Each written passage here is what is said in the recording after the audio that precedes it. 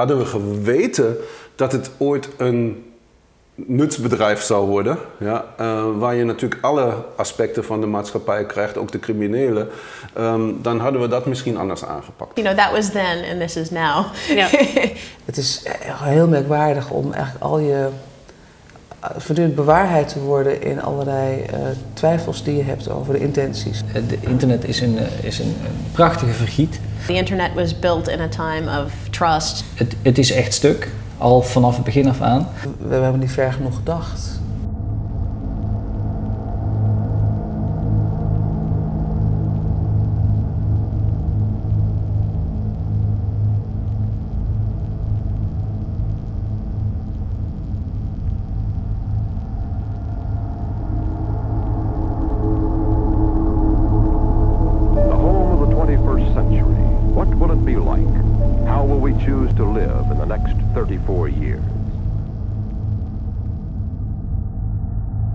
Toen ik ermee begon, zou ik me niet hebben kunnen verbeelden ja, hoe belangrijk uh, het zou worden en hoe het alles doordringt. Hè. De, de hele maatschappij, ons leven. Het is net zoals uh, elektriciteit, uh, licht en water nu. Internet is ooit ontstaan als een technologie en een speeltje tussen aanhalingstekens voor wetenschappers en, en voor, voor de mili militairen. Het militair industrieel complex heeft internet uitgevonden voor het geval de atoombom zou vallen. He, dat we toch gedistribueerde informatie zouden hebben. Als je um, even voorstelt dat je in een bunker gaat zitten uh, en um, de rest van de wereld wordt plat gebombardeerd, dan doet het mail doet het nog, uh, het web doet het nog. Uh, niet, niet de websites die dan stuk zijn, maar, ja. maar de technologie doet het. Ja. Het is, was gewoon een, een, een, een pioniernetwerk uh, wat in eerste instantie voor wetenschap en onderzoek was, um, waar eigenlijk een cultuur van coöperatie heerst. Maar dat waren kleine clubs die iedereen ons kent ons. En uh, ja, dat is nu volstrekt niet meer het geval. Dus uh, de technologie wordt gebruikt op een schaal en een gebied waar het eigenlijk nooit voor bedoeld is. En ik vind het eigenlijk al fascinerend dat het zelfs werkt. We hadden hier toen die 25 jaar internet in Nederland bijeenkomst. Wat ik daar heel aardig in vond, was dat volgens mij was dat Kees de Laat. Die uh, vertelde over alle kabels die hier toen binnenkwamen in Amsterdam. En uh, uh, op een gegeven moment ook zei dat daar volgens mij een kabel van Rusland of een ander land doorheen ging. en dat hij één keer op de lijn had gekeken of daar data overheen ging. Om te zien of het werkte. En hij zei toen heel mooi van ja, dat, hè, dat konden we eigenlijk natuurlijk altijd doen. Maar dat soort dingen, dat doe je niet. Wij hebben zo onderschat uh, dat de macht van dat militair-industrieel complex door al die jaren heen. En dat heeft ook vooral de politiek heel erg onderschat. Dus het, het, het heeft ook geen respect voor parlementen. Mm -hmm. Het heeft geen respect voor politici. Het heeft geen respect voor Verenigde Naties. Het doet gewoon zijn eigen ding. Na Snowden weten we natuurlijk dat dat vertrouwen op alle manieren van onder tot boven uh, verkracht is. Als iedereen zich keurig zou gedragen, zou er niks stuk zijn aan het internet. Het is een van de meest complexe dingen die de mensheid ooit gebouwd heeft. Het feit dat ik uh, binnen een halve seconde een e-mail uh, in Japan kan laten uitkomen en dat iedereen dat kan lezen, dat, dat werkt allemaal. Wat wij tegenwoordig steeds meer zien, door allerlei verschillende krachten is dat het open karakter van het net steeds meer wordt aangetast. Ik hou van een vrije democratische rechtsstaat.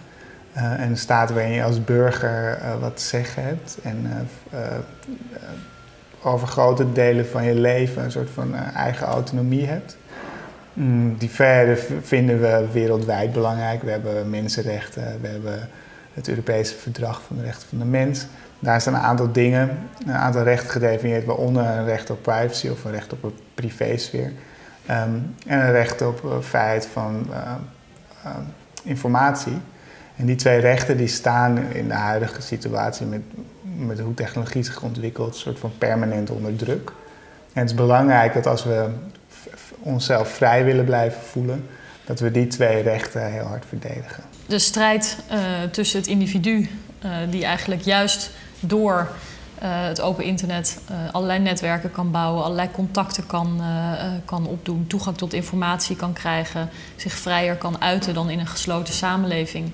Aan de ene kant. En aan de andere kant die regeringen die toch top-down die controle willen houden. Dat, dat zie ik als een strijd die zich eigenlijk op en rondom het internet afspeelt. Dus kan je niet echt zeggen dat het internet daarmee stuk is. Maar er zijn wel een heleboel mensen bezig om op die manier het internet wat open was, toch stuk te maken. Het feit dat het internet niet gereguleerd was in het begin, uh, heel belangrijk. Uh, dat heeft namelijk ongelooflijk veel innovatie teweeggebracht. En wij vinden tegenwoordig heel normaal dat als jij een, uh, een, blog of een site wil oprichten, dat je dat met een paar muisklikken kan doen. Het was mogelijk geweest dat de Nederlandse overheid of de Amerikaanse overheid zei van ja, ja weet je, als jij op het internet wil, dan moet je eerst bij mij langs loket je lezers betalen. En dan gaan we jou even inhoudelijk beoordelen. Gaan even kijken of je geen uh, kindonvriendelijk materiaal wil uitzenden via het internet. En dan laten we je erop. Uh, dus het feit dat het internet niet gereguleerd was, althans de toegang tot het internet vrij en open was, mm -hmm. is een heel belangrijk uh, aspect.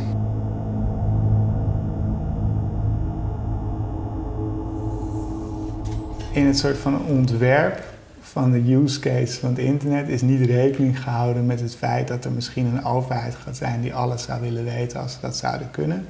En dat er bedrijven zijn die, wiens businessmodel bestaat uit zeg maar, uh, het verkopen van je privacy. Dus of, uh, het zoveel mogelijk data verzamelen, zodat je daar zoveel mogelijk geld voor kan krijgen. In de jaren negentig zijn we eigenlijk allemaal tegelijkertijd op internet gekomen. En, uh, alle bedrijven die ons daarbij hebben geholpen, die gebruikten ongeveer dezelfde software. Uh, voor, de, voor de techneuten, de, de, LAMP stack, Linux, Apache, MySQL en PHP. Daar, daar zet je WordPress sites in, daar zet je Drupal sites in. Um, je kan er uh, mailtjes krijgen, uh, kun je nog sturen, dus je hebt twee mailpakketten, SendMail en Postfix, die dan werden geïnstalleerd. En dat was het. Dat, dat, dat is, daar konden we met z'n allen heel aardig mee beginnen. Het probleem is alleen, daar zitten we nog steeds. Laat ik zo zeggen, als je het vindt surf vraagt of hij uh, 30, 40 jaar geleden dacht dat nu uh, 4 miljard mensen op het internet zouden zitten, dan zou, die, zou hij je vierkant uitgelachen hebben. En als hij het geloofd had, dan was hij hard teruggerend naar de tekentafel en had meteen IPv6 uitgevonden in plaats van IPv4. Alle technologie die we tussendoor hebben gekregen, dat is pseudo-infrastructuur. Dat zijn bedrijven als Facebook, Google, Twitter, die een dienst verlenen uh, die verdacht veel lijkt op infrastructuur. De decentralisatie zit best wel goed in de netwerklaag, dus in een soort van de manier waarop bits met elkaar verbonden worden, maar zit veel minder in de informatielaag. En dat, daar zit een soort van voor mij een structureel probleem, dat het dus heel makkelijk is, blijkt, om op deze soort van technische infrastructuur um, monopolistische informatiesystemen te bouwen. En dat, is een probleem wat opgelost moet worden. Alles wat er aan nieuwe technologie is gemaakt sinds de jaren 90, die van het internet is, niet van een bedrijf is, maar van het internet is, die is het niet geworden. Niks, helemaal niks. In de bezemkast bij, bij, bij die hostingbedrijven draait die software nog steeds, dat ronkt vrolijk door, maar je kunt er geen nieuwe dingen meer in krijgen. Dus we hebben wel eens een gedachte-experiment gedaan. Wat als e-mail nou morgen zou verdwijnen? En een seconde later bedenken we het, hebben we dezelfde software weer en zou het weer terug willen krijgen dan zouden we het niet meer op het internet krijgen. Dat is een fundamenteel falen van het internet, dat je, dat je niet meer een innovatie erin krijgt.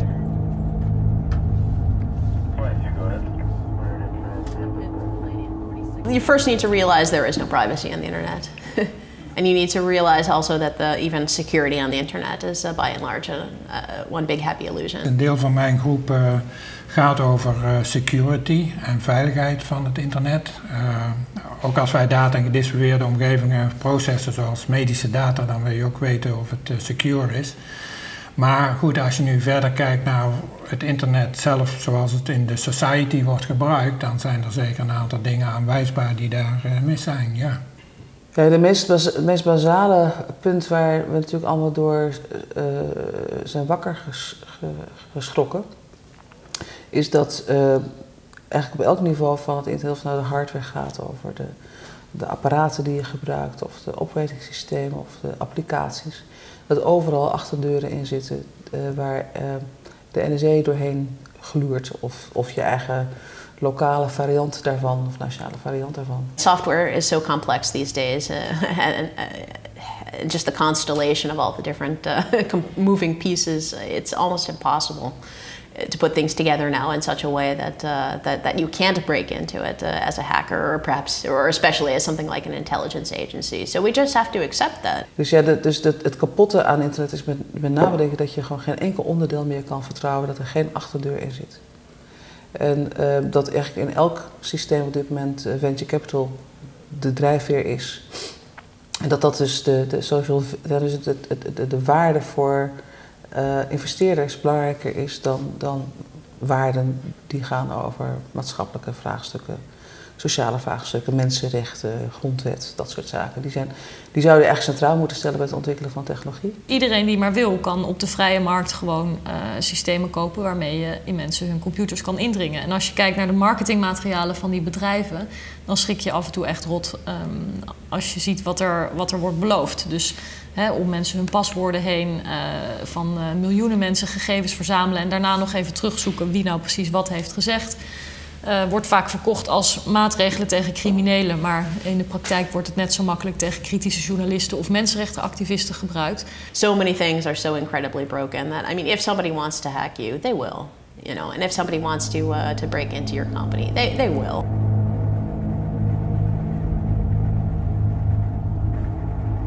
Ja, wat het stuk is, is dat het uh, geen governance heeft.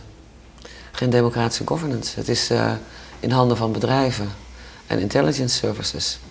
En uh, dat maakt het heel gevaarlijk. De NSA-onthullingen zijn natuurlijk het sprekende voorbeeld van ook een open democratie die een regering heeft en diensten heeft die ontzettend vergaande maatregelen hebben getroffen en daarmee enorme controle over mensen en over systemen hebben gegenereerd, wat heel zorgwekkend is een boel van de landen waar wij uh, actief zijn, een boel van de mensen waar wij mee spreken, uh, nemen het, hebben voornamelijk problemen met overheden.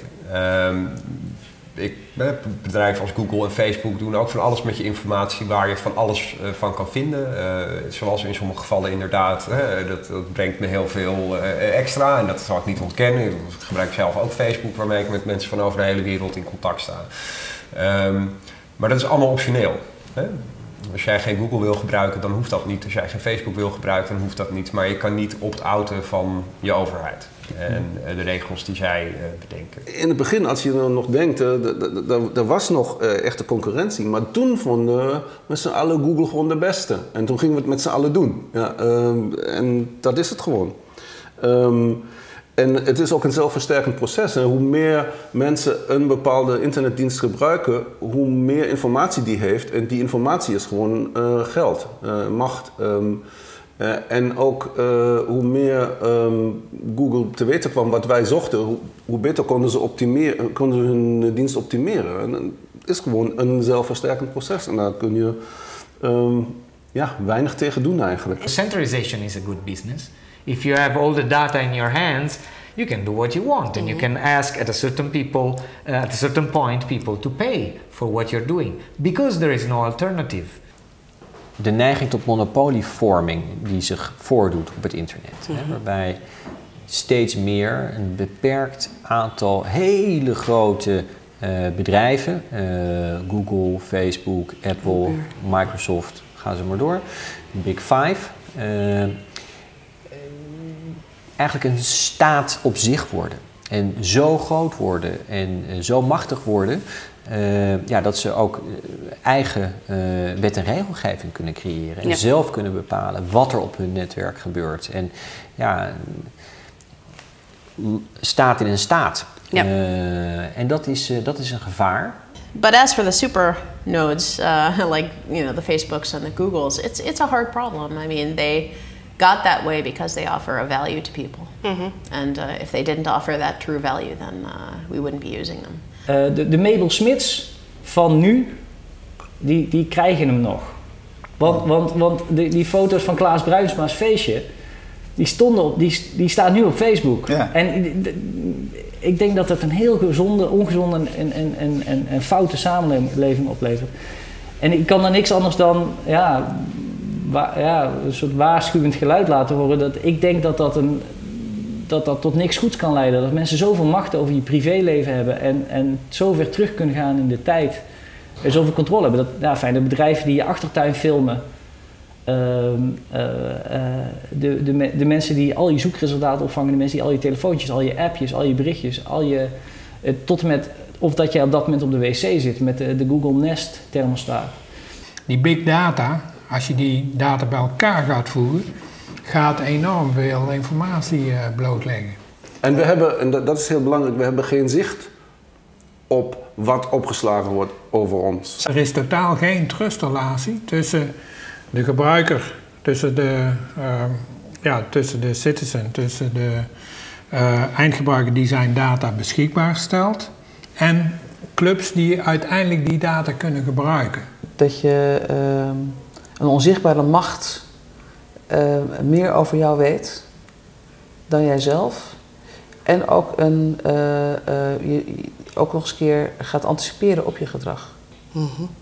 Dat, die vorm van intelligentie, die, die, of nou ja, ik weet niet of het intelligentie moet noemen, maar dat soort, dat, dat vind ik een hele beangstigende. Dus dat, dat, je ziet dat nu al gebeuren, het is, helemaal, het is niet zo ver weg meer, maar je ziet het nu al gebeuren dat op basis van je dataprofiel en je gedrag, je, dat, dat, je behavioral data, dat men al gaat anticiperen. Ja. Eh, Voor dingen die je zelf nog niet wist.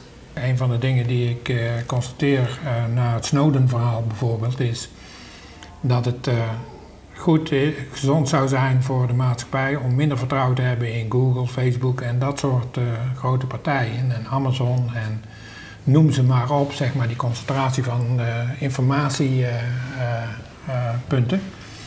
Omdat ja, dat voor zowel de goed als de kwaadwillende overheden en eh, partijen natuurlijk eh, concentraties zijn waar ze graag winkelen.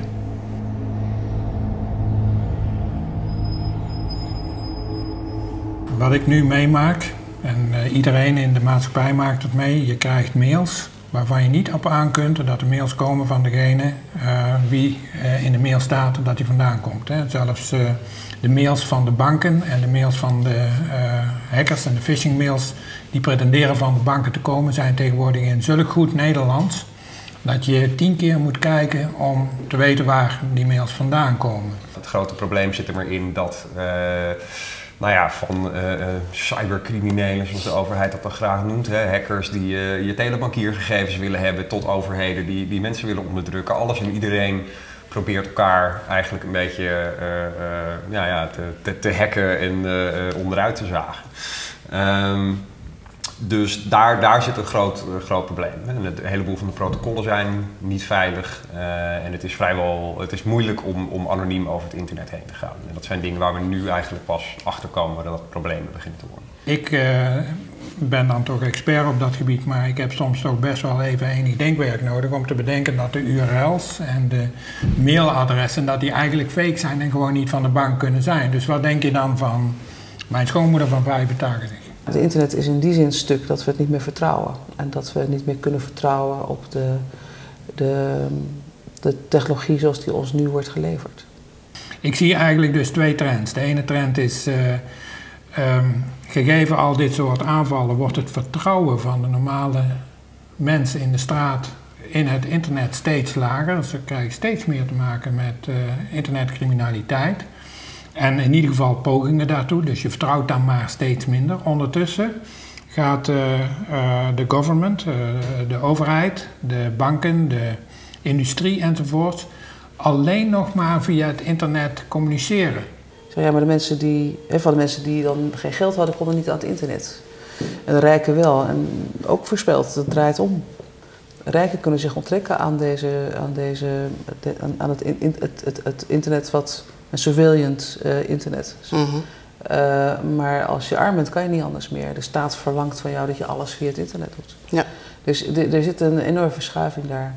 Eh, over vijf of tien jaar ben je ook uitgerust met allemaal programmeerbare dingetjes. De eerstvolgende is de horloge, hè? dus dit soort eh, programmeerbare horloges.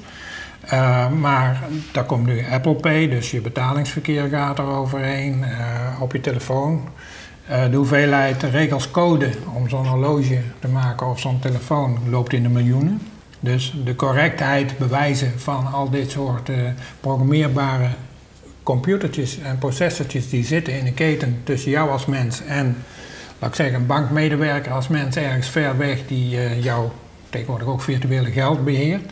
Daar zitten een hoop punten tussen en het wordt steeds moeilijker om een end-to-end vertrouwen op te bouwen, gegeven al die, uh, ja, al, die hele keten daartussen.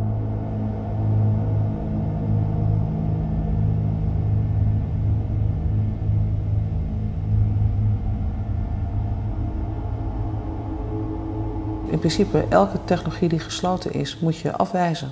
Vanuit, vanuit een maatschappelijk, democratisch, politiek, uh, moreel uh, en, ook, gewoon heel pragmatisch ook. Mhm. Ik zie wel wat in een soort van slow-tech-beweging, waarin, je, um, waarin het niet meer om efficiëntie gaat, maar waarin het gaat, gaat van vrijheid, dingen zelf kunnen aanpassen, veranderen. Een soort co-ops. I don't think that we can rely on people to make the right decision. I think that us as technologists have the larger responsibility for trying to build in more fail safes. I mean, because the, the honest truth of the matter is, even very security conscious technical people are going to do the wrong thing. I mean, also within our uh, my company, we've mm. also done things like spear phishing uh, demonstrations with some of our customers, and our customers are very savvy technically educated, security aware people. Mm-hmm. And guess what? We sent the phishing emails, they click. you know, and, and, and, and also other people, other security professionals, professionals that I know have also gotten their own machines compromised. So, I mean, really the question is if the security professionals can't get it right, how do we think that everybody, everybody else is going to get it right? We need to start thinking of peer to peer more seriously. It's not just about sharing MP3s online, it's not just about uh, uh, torrenting your favorite TV shows. It's an architecture that can ensure transparency and neutrality. We can't rely on centralized architectures anymore. Kill the Giants is toch wel een beetje het ideaal. Want ik geloof dat die, de, groei van die hele grote bedrijven, dat die niet te stoppen is door nog grotere bedrijven te maken. Maar gewoon juist voor een heleboel kleine, onafhankelijke, gezonde, autonome, zelfontwikkelende ondernemingen. Ik denk dat het belangrijkste wat er nu zou moeten gebeuren, en dan, dan spreek ik misschien iets meer vanuit mijn technische achtergrond, maar dat is dat er op, op technisch niveau dingen worden opgelost. Dus dat er meer uh, gebruik gemaakt gaat worden van encryptie, dat er standaard meer anonimisering in de netwerken plaatsvindt. Je hebt, je hebt wereldwijd heb je dus ongeveer 100.000 hostingbedrijven. Uh, en die gebruiken eigenlijk allemaal dezelfde software. Um, maar allemaal 20 jaar oud. En wat wij willen doen is hun verouderde stack vervangen door een nieuwe stack. We zeggen, hier, dit kan alles. We zorgen ervoor dat het gegarandeerd is. Uh, we zorgen ervoor dat er, dat, dat er support op zit. En je mag het voor niks gebruiken. Dus vervang je oude, laat jezelf niet langer marginaliseren. Waarom, kan je, waarom zou jij uh, chat uh, niet gewoon onder je eigen domeinnaam kunnen draaien? Of waarom zou ik met Facebook of LinkedIn moeten inloggen op een website als ik gewoon met mijn eigen mailadres ergens kan inloggen? En dan dus niet hoef te rapporteren aan een Amerikaanse onderneming die dat gelijk monetiseert waar ik met wie contact heb.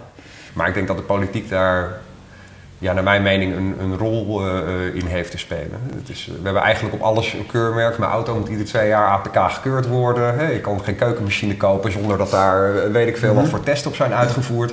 Ja, en software is eigenlijk iets waarvan we zeggen, ja, als het lekker is als een mandje, dan is het wel lekker als een mandje. En, uh, ja. I don't think the IVD themselves would allow somebody to put a black box in their network. you know, I mean, and I've heard indirectly from other people that they actually also insist upon open source yeah. because so they can also actually audit, you know, what's going into their network. And I mean, sorry, but if, if that's if if open source is the only thing that's good enough for the IVD, then shouldn't open source also be the only thing that's good enough for you? Yeah. Hmm. Die transparantie dat moet echt heel fundamenteel anders. We kunnen niet. Een mooi voorbeeld is zeg maar de bevoegdheden van de opsporingsdiensten. De opsporingsdiensten lopen permanent te zeggen: wij hebben meer bevoegdheden nodig. We kunnen het niet uh, met de huidige bevoegdheden rondkrijgen. Uh, en het is een, een, business case die we denk ik allemaal wel zouden willen hebben. Als inlichtingendienst krijg je geld van de overheid.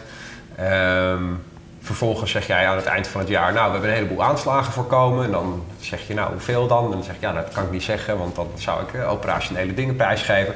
Maar ik heb eigenlijk volgend jaar nog meer geld nodig.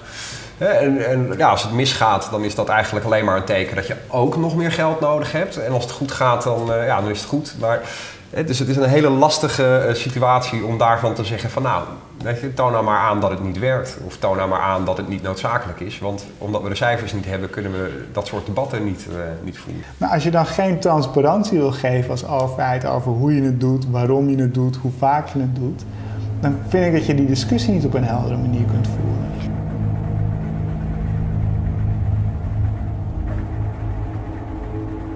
Is om te. Het, het kennisniveau van de, de, de politici in, eh, over het internet, eh, maar ook over eh, ja, techniek op zich en, en hoe dat gebruikt wordt, waarvoor het gebruikt wordt. De politiek zelf eh, ja, merk je toch wel echt heel erg vaak een soort onbegrip van, van die technologie en helemaal een soort van de wat bredere effecten van technologie. Als de samenleving niet bewust iets van is, dan zijn de politici het ook niet. Want ja, wat interesseert het hen? Daar is geen eer, eer te behalen. En, en nog meer, eh, om, des te meer omdat het moeilijke problemen zijn. Hè? Als er een eh, easy oplossing is, nou ja, dan doen we dat wel, krijgen we credit voor, prima. Maar als het moeilijk is, dan moet er wel druk komen vanuit de maatschappij. De enige die die, die, die vragen permanent stelt zijn de, is de Piratenpartij. Eh, andere partijen zijn of te klein en hebben dus geen mensen die zich hier vrij kunnen maken. Die kiezen andere thema's om zich op te profileren.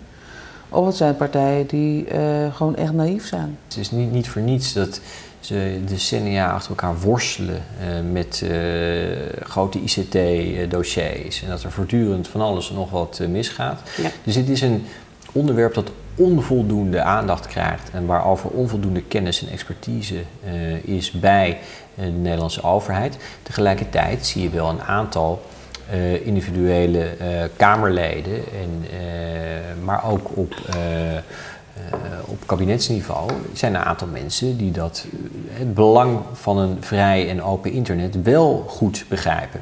Je hebt een moreel kompas nodig. Je, hebt een je kan dit niet meer doen als we hebben opportunities. Nee. En de technologie, hè, solutionism, van we hebben een probleem, gooi er wat technologie tegenaan. Je, je, moet je, de, de, je moet je de waarden van die technologie gaan, gaan herkennen en expliciteren. En met elkaar daarin die keuzes maken. Net zoals we dat met de wet doen. Ja. We gaan ook niet, en over- over- overigens, van de wet zeggen ook niet dat we die hebben en dan passen we hem slechts toe. Het is een permanente dialoog. Dus Ja. de- de- de- rondom de wet zijn we in permanent gesprek met elkaar. En we hebben verschillende interpretaties. En, maar dat, dat zou je bij technologie ook moeten hebben. Je mag niet denken, je, moet weg bij dat idee dat het een, eh, een neutraal eh, eh, element is in de samenleving. Ik zou het heel fijn vinden als de overheid een aantal beleidsinterventies doen die gericht zijn op het echt daadwerkelijk stimuleren van, nou ja, in de te- techwereld noemen ze dan PETs, Privacy Enhancing Technologies. Maar ik zou het liever noemen fair tech. Dus technologie die open source is, volgens open standaarden, die je decentraal kunt gebruiken en deze kunt installeren, die je onder je eigen domeinnaam zet. Ik zou het helemaal geen gek idee vinden als de overheid een club zou oprichten of zou samenstellen van 15 of 20 mensen van bedrijfsleven en universiteiten en andere clubs die zinnige dingen over hè, eh, dit soort eh, eh, wetgeving kunnen zeggen of kunnen stellen van nou dit is ons probleem en bedenken jullie daar nou eens een oplossing voor, want zelf kunnen ze het duidelijk niet. Wat ik op zich misschien geen slecht idee zou vinden, is om een soort van min- minister van informatie te hebben. Dat alleen, alleen al in, in een soort van de intentie die daaruit zou voorspreken. Het gaat om dat ehm, het individu ook beschermd moet kunnen worden tegen machtsmisbruik van de staat, tegen machtsmisbruik van bedrijven. Dat je checks en balances hebt. Dus dat er niet één partij heel veel macht heeft zonder dat daar controlerende macht tegenover staat.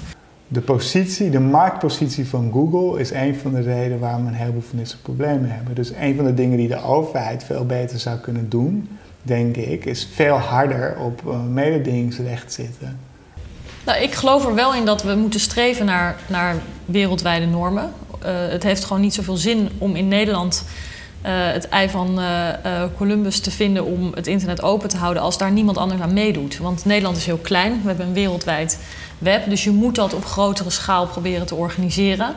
Eh, je moet ook bedrijven meenemen ehm, en ervoor zorgen dat zij ook het idee hebben dat het in hun belang is om het internet open te houden. Het feit dat Europa Google regelmatig aanpakt. Hè, we hebben net in Nederland uh, het College Bescherming Persoonsgegevens heeft Google op de vingers getikt.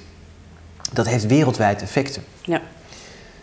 Uh, Zo'n uitspraak over uh, the right to be forgotten. Ik vind dat overigens een verschrikkelijke uitspraak, maar dat terzijde. Maar die uitspraak die heeft gevolgen, niet alleen voor Europa, maar voor Google wereldwijd. Ja. En het zet gedachten in gang. En uh, Larry Page die misschien zegt van nou misschien is het eigenlijk helemaal niet zo'n gek idee. En moeten we het ook elders introduceren. Dus dat kan wel.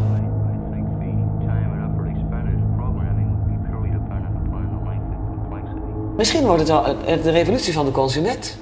Die zegt ik doe het niet meer, ik wil er niet meer aan meewerken. Ik koop geen iPhone meer die iedereen waardoor ik overal word afgeluisterd en wordt meegekeken. Uh, toen we uh, tegen ACTA aan het strijden waren, uh, heeft echt die stem van mensen uit heel Europa en zelfs uit de hele wereld het debat en de stemming bepalend bijgestuurd. Omdat het opeens een hot topic werd. Politici wisten dat ze verantwoordelijk zouden worden gehouden voor de stem die ze zouden uitbrengen. En ze dus meer informatie wilden voordat ze die beslissing konden nemen. En hoe meer informatie ze kregen, hoe meer ze tegen ACTA werden. Governments have done a lot of bad things, corporations as well. This is the narrative that people uh, like uh, Julian Assange uh, and, uh, and again Edward Snowden have helped us to, to get conscious about. And it's, it was necessary. But we have to go beyond that now and understand how we rebuild trust. Ik denk dat ook de geschiedenis het leert. Een enkeling maakt verschil, maar die kan alleen maar verschil maken als er een hele grote groep mensen om die edges om de stap te zetten van we doen het niet meer. Zoals ook de, de muur naar beneden is gegaan. Ik uh, heb 0,0 vertrouwen in het zelfregulerende vermogen van het bedrijfsleven in dit. Dus voor mij is het zeg maar uh, een publieke functie om dit te regelen. En dat betekent dus gewoon burgers en overheden, die moeten dit voor elkaar krijgen. Ik denk dat het goed is dat het meer naar elkaar komt. Ik denk dat je uh, voorheen uh, een hele technische groep mensen had die het allemaal maar gelul vonden. Politici, advocaten, juristen, whatever. Het is ons internet en wij, wij doen het allemaal wel. Ja. En dat je aan de andere kant een hele club juristen had die zeiden, ja, die rare hackers, pff, hè, de wet, daar gaat het om. En dat moet allemaal. En ik denk dat je nu ziet dat eigenlijk al die losse groeperingen en clubjes doorhebben dat dat niet meer gaat, dat het niet meer kan. En dat dat samen uh, door moet en uh, samen oplossingen moet gaan, gaan vinden voor wat er nu, nu allemaal aan de hand is. Ik vind dat je moet oppassen met te veel geloof in technologische oplossingen. Ik vind dat je moet oppassen met te veel geloof in juridische oplossingen. Ik denk dat je moet oppassen met te veel geloof in de burger, in de consument. En je moet oppassen met te veel geloof in de overheid. Maar in een combinatie van al die factoren zit natuurlijk uiteindelijk een oplossing deels. Mhm. En uh, dat geldt voor, voor alle kampen.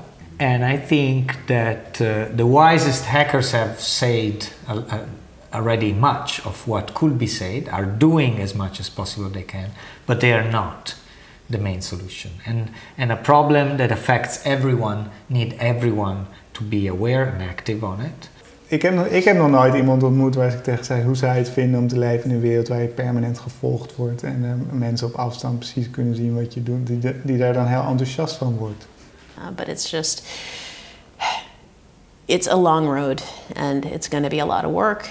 En ik denk ook, dat vind ik wel, dat ook solidariteit, hè, dat is een beetje een oud woord, maar dat krijgt wel echt een hele nieuwe betekenis de komende tien jaar. Ik denk Ja. dat we daar elkaar ook echt moeten helpen om dat te zijn. Het gaat steeds over open. Ja. En dat, is een, eh, dat vind ik een hele spannende ontwikkeling. En ik vraag me, op de ene moment kan je, kan je denken van het is, het is verloren. het, hele, het hele spel is al verloren. Op het andere moment zie je weer toch ongelooflijk veel vitaliteit. En, en het gaat echt, cruciaal is nu of die verschillende partijen met elkaar gaan samenwerken.